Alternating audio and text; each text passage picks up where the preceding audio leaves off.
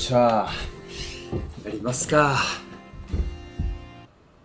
どうもしんいちです。先日ユニクロ U の 24AW のラインナップが発表されましたね。ユニクロ U はですね昔エルメスのデザイナーも手掛けたことがあるクリストフ・ルメールとサラリン・トランが率いるチームが上質なワードローブを追求するコレクションでございます。僕も毎年楽しみにしているコレクションです。何度か購入品紹介の動画も出しております。特に秋冬のユニクロ U の雰囲気がですねめちゃくちゃ好きなんですよね。個人的にはですねユニクロ C よりも U の方が好きです。ユニクロ U の方がですね機能的なアイテムが多くてワークやミリタリーをデザインソースにしていることが多いので日常のファッションに取り入れやすいんですよね。今年のユニクロ U は濃いめのブラウンが印象的なコレクションだと感じました。発売日が9月27日とのことですので今回はですね発売前に僕が気になっているアイテムを5点皆様に紹介したいと思っております。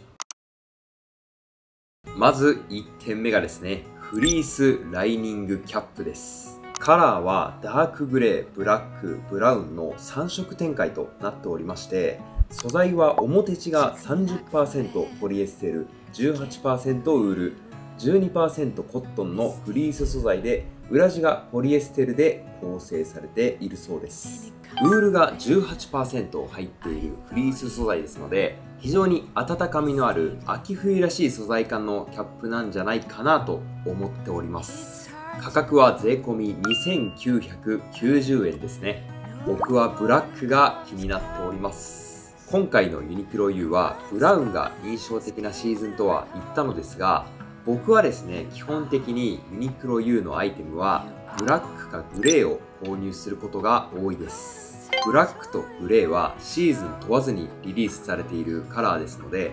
過去のユニクロ U のアイテムとも合わせられるんですよね。トレンドに左右されない感じも好きなポイントです。今までキャップは似合わないと思ってかぶってこなかった人生だったのですが今年の 24SS のユニクロ U でこちらのナイロンランニングキャップを購入したんですよね。今年に入ってからランニングとウォーキングにハマっておりましてそれ用に購入したキャップでございます。ランニング用に購入したんですけど普段のファッションに取り入れてしまうくらい気に入って使用しております。ユニクロ U のキャップはランニングキャップですのでこのキャップのようにですね点ボタンがないんですよ。キャップにヘッドホンを合わせるというシティなスタイリングを最近よくするのですが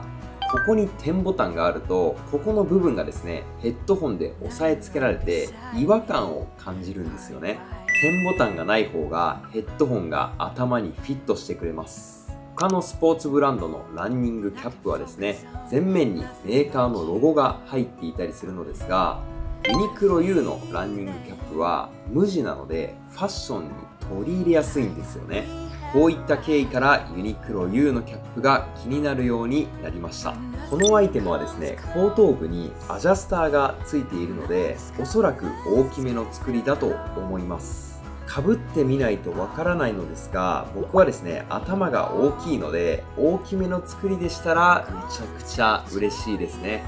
耳当てもついていて裏地は起毛素材を使用しているそうなので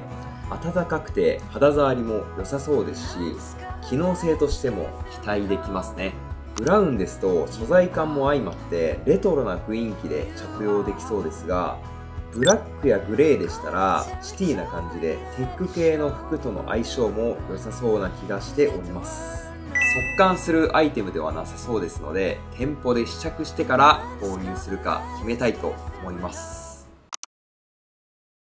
2点目がですねコーデュロイワイドタックパンツです。カラーはダークグレー、ベージュ、ブラウンの3色展開で素材はコットン100%の太畝のコーデュロイ生地を使用しているみたいです。価格は税込4990円ですね。腰回りにはフック式のアジャスターベルトが採用されているみたいでベルトいらずで着脱が楽そうですね。僕はダークグレーが気になっております。素材が太畝のコーデュロイですので多分ですが武骨なパンツだと思うんですよね。グレーでしたら綺麗めなカラーリングですのでこのパンツのカジュアルさを程よく下げてくれて履きやすくしてくれると思っております。過去の黒系のユニクロ U のアイテムとの相性も良さそうですしコーデュロイパンツなのですがグレーなのでテック系のアイテムとの相性も良さそうです。ブラウンはですね古着とかレトロなアイテムとの相性が良さそうですしベージュは中性的なフェミニンなスタイリングを組みたい人におすすめなカラーだと思います。このグレーパンツマジでいいな。早く履いてみたいです。3点目がですねパフテックボリュームパーカです。カラーはダークグレー、ナチュラル、ダークブラウンの3色展開でユニクロ U としては初めてパフテック素材が使用されたアイテムみたいです価格は税込12,900円ですね。表地がコットン51%、ポリエステル49%で、裏地がナイロン100%で構成されているそうです。今ですね、去年のユニクロ U の中綿のブルゾンをクローゼットから引っ張り出してきました。去年の中綿のブルゾンはですね、ダウンステッチがあって、かなりハイネックですので、特徴的なデザインをしていたのですが、今年の中綿のブルゾンはダウンステッチがなくて非常にミニマルで洗練されたデザインのブルゾンだと感じました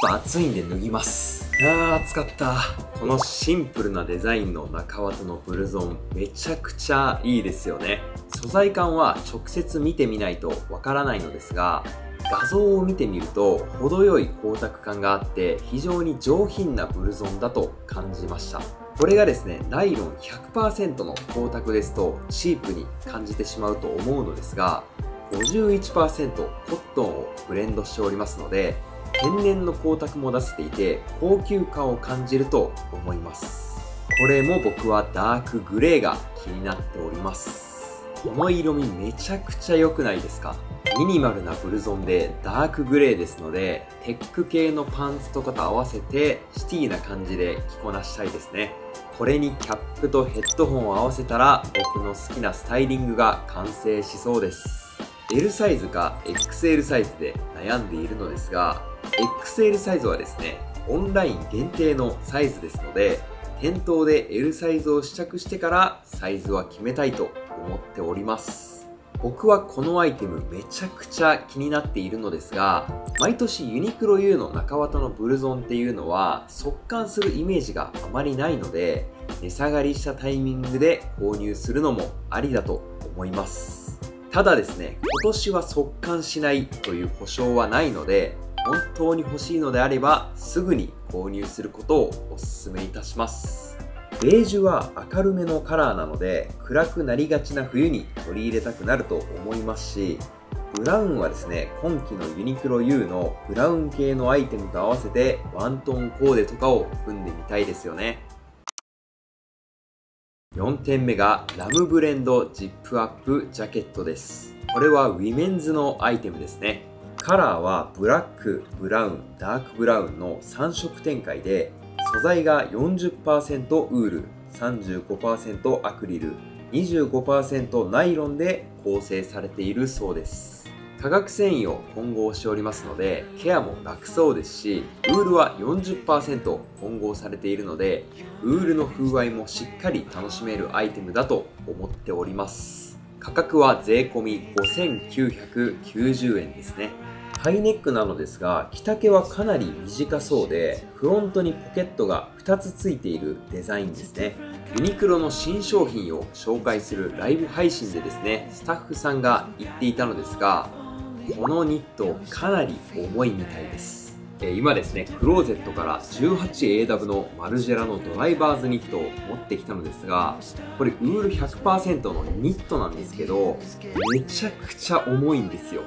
重量感がすごいんですよね。ニットというよりはアウターといったイメージです。今ね着用してみたのですが着てみるとですね体全身で支えているからなのか重さは全然感じないですしアイテム単体の重さがしっかりしているアイテムですので所有欲がめちゃくちゃ満たされるんですよね。今ですね、別のドライバーズニットに着替えたのですが、こちらはですね、22AW のユニクロ U のジップアップセーターでございます。こちらはですね、先ほどのマルジェラのドライバーズニットとは違って、非常に軽くてですね、カーディガンのような感覚で着れるドライバーズニットです。今回のアイテムは 22AW のユニクロ U のドライバーズニットというよりはマルジェラのドライバーズニットに近い作りのような気がしております。名前にジャケットとついているくらいですからかなりの重量感が予想されます。個人的にはポケットがなかったらもっとミニマルで洗練されたデザインでファッションに取り入れやすいんじゃないかなと思いました。このアイテムの魅力は何といっても短丈であることだと思います。ドライバーズニットがベースになっているとは思うのですが短丈なので運転する時に生地がお腹周りにたまらないので非常に実用的でいいなと思いました。サイズ表を見る感じですと袖が足らない可能性があるのですが意外と袖が長かったという可能性にかけて僕はオンラインでですね一番大きいサイズを購入しようと思っております。多分ですが一番大きいサイズは速乾するような気がします。カラーはブラックが気になっています。これに関しては他の色味もものすごくいいなと思ったのですがブラウンですとかなりベージュに近い明るめの色味ですので僕童顔ですから多分着用すると幼く見えてしまうと思うんですよね。ダークブラウンも上品で大人な色味だと思ったのですがここまで暗めのブラウンを選ぶのであれば僕はブラックを着たいなと思いました。これはですね今回のユニクロ U の中ではかなり注目度が高いアイテムなんじゃないかなと思っております。袖の丈だけが心配ですね。